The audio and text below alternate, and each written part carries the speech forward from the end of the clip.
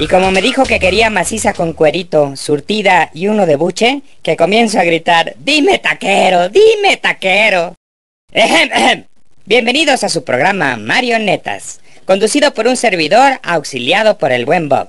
Este día tenemos no uno, sino tres invitados especiales, para los cuales les pido no un aplauso, sino que guarden bien sus carteras. Con ustedes, Ulises Ruiz, Fidel Herrera y Mario Marín.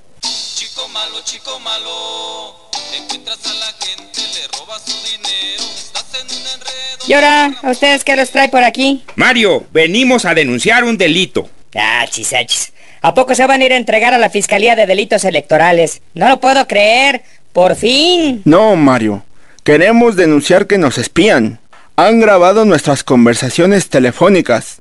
Eso es ilegal. Es inmoral. Es inadmisible. Lo que es ilegal, inmoral e inadmisible es que ustedes como gobernadores estén desviando recursos públicos para favorecer a sus candidatos. Eso es otra cosa, Mario. Aquí hay un delito. El de ustedes. Y un delito grave. El de ustedes. Un delito que lastima a toda la sociedad. El delito que cometen es el que lastima a la sociedad, que ilusamente creía que ya no existían priistas como ustedes. Parecen sacados de la película La Ley de Herodes, me cae. No, no, Mario. Lo grave es que ya no se puede hablar por teléfono a gusto. ¿Cómo vamos a coordinar las campañas de nuestros delfines? ¿Quién se encargará del reparto de recursos públicos? Para comprar los votos que tanta falta nos hacen. Ni modo de dejarle la decisión a los ciudadanos, Mario.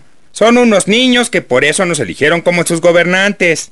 Para que los guiemos a la prosperidad y les quitemos preocupaciones tontas, como esta de ejercer libremente el voto. A ver, ¿para qué quieren? Oigan, ahí les hablan sus candidatos. Ya lleguenle, ¿no? ¡Ay! ¡Ay! ¡Mi cartera! ¡Agárrenlos! Bueno, en lo que consigo mi cartera de regreso, vamos a hacer un enlace hasta Sudáfrica con Nicanor. Sí, Mario. Ahora sí que te luciste. Mira que mandarme a Sudáfrica para reportar desde acá, sí que fue un detalle. Aunque si me hubieras dado entradas para el HUD, hubiera sido un detallazo. Y bueno, hablando ya de la chamba, en un acontecimiento insólito y de consternación general, a estas damitas holandesas las detuvieron y las metieron al botellón. Que es que por traer las minifaldas naranjas.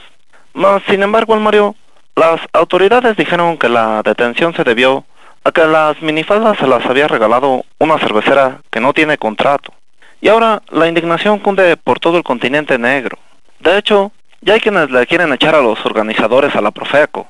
Y es que no se vale andar ocultando y encareciendo los artículos de primera necesidad del Mario. Seguiremos reportando. El Mecanor, Jueras.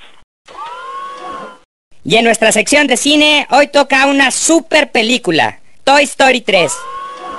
Después de 11 años de espera, la trilogía de los juguetes que cobran vida cierra en una nota alta, con la que a mi parecer es la mejor de las tres cintas, pues además del buen humor, también hay momentos de harto sentimiento. Yo lloré dos veces, con eso les digo todo. La historia es buenísima con todos los elementos que hicieron clásicos a los dos anteriores, como Buzz Lightyear pensando que es un guardián espacial y no un juguete, y los juguetes perdidos que deben de regresar a casa de las maneras más inverosímiles.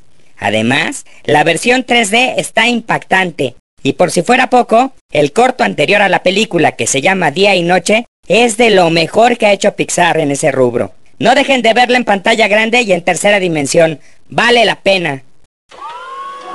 Y antes de que me vuelva a entrar el sentimiento, mejor hasta ahí le dejamos por esta semana. Los esperamos el próximo miércoles. ¿Cómo estuve?